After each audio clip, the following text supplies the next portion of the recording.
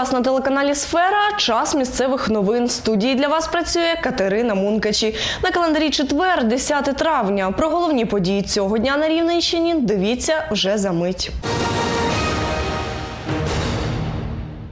Вранці 9 травня до чергового ОМВС України в Рівненській області надійшло повідомлення про те, що у власному помешканні в місті Рівне виявлено мертвим 86-річного чоловіка, ветерана Великої вітчизняної війни. Про це повідомила прес-служба прокуратури області. При огляді місця події слідчо-оперативною групою з числа працівників прокуратури та міліції встановлено, що чоловік помер внаслідок нанесення йому численних тілесних ушкоджень.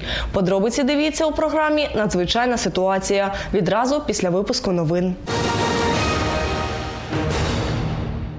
67-му річницю Дня перемоги у Рівному відзначали військовим парадом, урочистим мітингом на військовому меморіалі кладовища Дубенське, виставкою, святковими акціями, військовою польовою кухнею та феєричним салютом.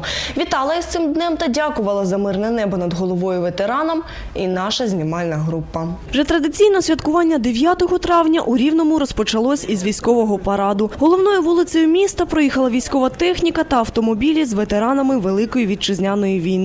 Слід за ними марширували військовослужбовці рівненського гарнізону в парадній та польовій формах.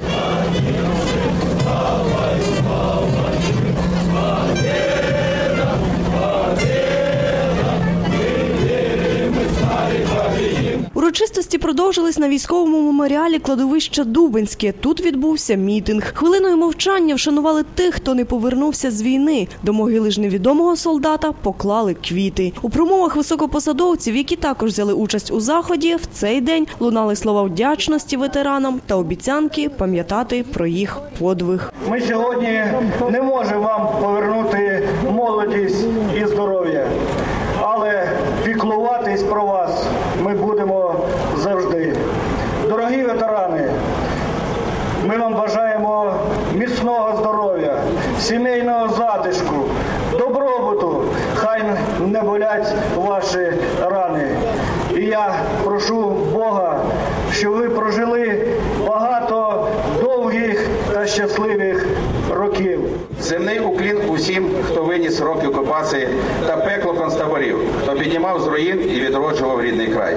З особливою повагою хочеться згадати ветеранів-визволителів нашого міста, учасників тих страшних подій, які дожили до цього незабутнього дня.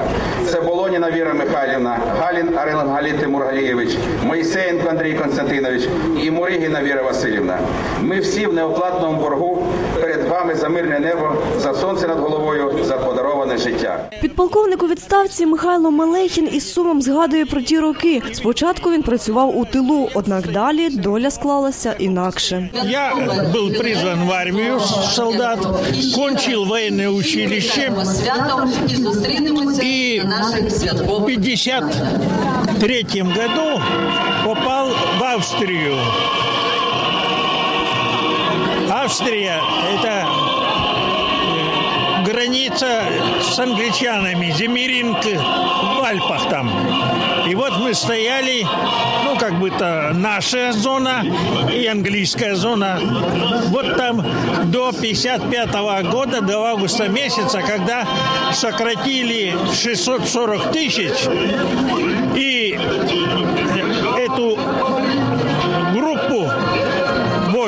войск выводили и привели сюда нашу дивизию в Тучинский полигон в Ровно. Вот где-то 19 августа 55 года я как бы стал ровенчанин. Ветеран Великої вітчизняної війни Микола Степанович щороку приходить цей день на мітинг, аби згадати загиблих товаришів і зустрітись із тими, з ким пліч опліч пройшов найважчу дорогу у своєму житті. Він пам'ятає про усі жахіття війни, втім ділитись ними із оточуючими йому неймовірно важко. Тяжело. Я вам скажу, тяжело. Але трошки осталось. Осталось трошки і воєнного, тобто пам'ять, і післявоєнного. Здоров'я забирає. Здоров'я. Хотілося б, щоб ще трошки. Мені 85 років.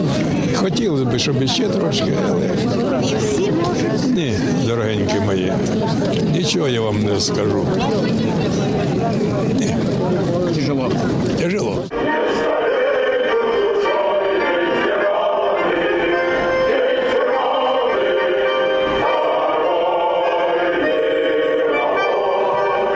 Катерина Мункач і Віталій Гудилко. Випуск новин. Муніципальна програма врядування та сталого розвитку у Рівному успішно діє вже не перший рік. Її суть полягає у співфінансуванні з громадою та владою проєктів, спрямованих на покращення умов життя рівнян у багатоповерхівках. Так, цьогоріч від влади та спонсорів на реалізацію програми закладено 4 мільйони 700 тисяч гривень. Ця сума буде розподілена між 29 проєктами, які є з практичної точки зору ресурсозберігаючими. Сьогодні ж на нараді дорадчого комітету усі подані проєкти були затверджені. За словами міського голови, популярність муніципальної програми серед громади щороку зростає. Відповідно, є і потреба збільшувати її фінансування. Тут Володимир Хомко покладається вже на державну підтримку, котра не стала б зайвою і зараз. Вкотре сподівалися на підтримку держави, вкотре отримали дирку від бублика. Попри всі декларації, дуже шкода, тому що з моєї точки зору ця програма могла би підняти і престиж центральних органів виконавчої влади. Ну думаю, при зустрічі от буде президент, буде, буде зустріч з міністром. Е, Викажу свою думку. Я думаю, що все таки знайдемо підтримку. На Рівненській АЕС на 54 доби відключено енергоблок. 10 травня в 0 годин 2 хвилини енергоблок номер 1 Рівненської АЕС було відключено від енергосистеми для проведення планово-попереджувального ремонту. Про це повідомили у прес-центрі станції. Ремонт розрахований на 54 доби. Протягом цього періоду планується провести перевантаження ядерного палива, середній ремонт реактора, середній та поточний ремонти турбін, середній та капітальний ремонти генераторів, поточні та капітальні ремонти парогенераторів і поточний ремонт компенсатора об'єму, капітальні та поточні ремонти головних циркуляційних насосів. Радіаційний, протипожежний та екологічний стан на РАЕС і прилеглій території зазначається в повідомленні, не змінювався і перебуває у межах чинних норм.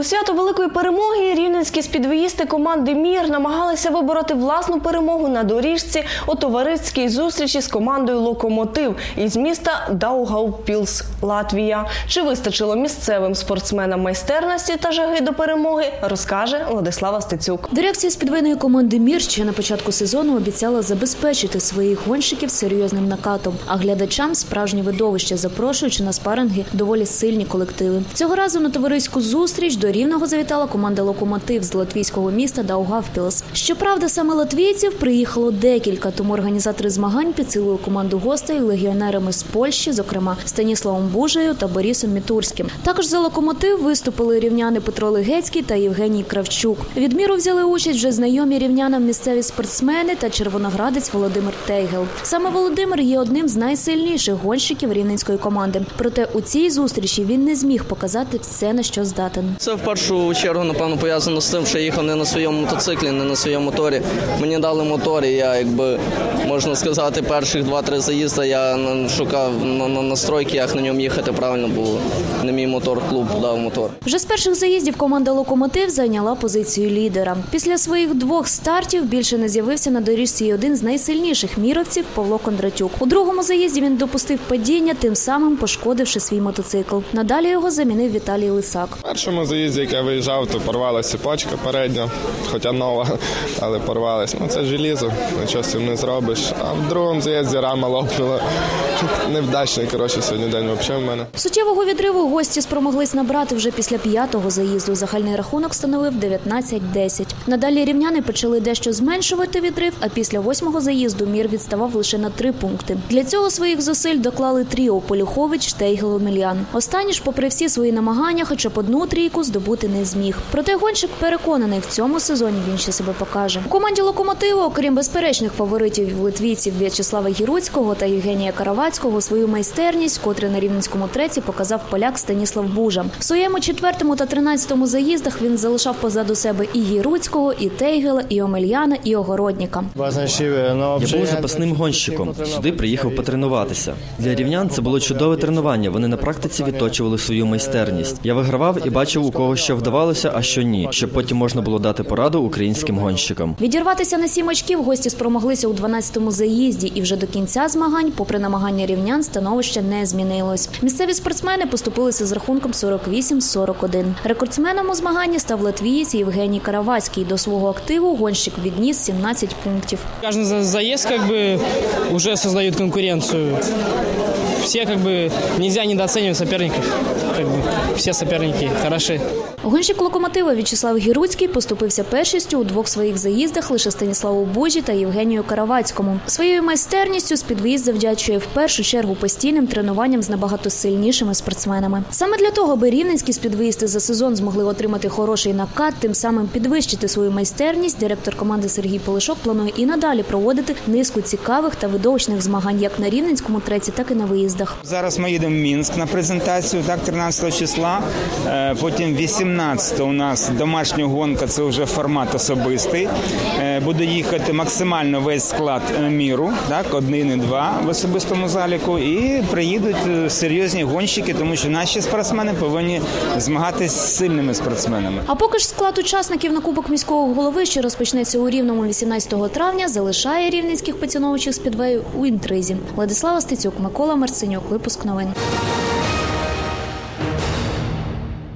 На цьому ж у мене все. Більше новин дивіться на нашому сайті. Також чекаємо ваших дзвінків до редакції за телефоном 45 10 70. Ми раді співпраці та готові допомогти. На все добре. Одяг ведучої надано бутіком Мода Сана.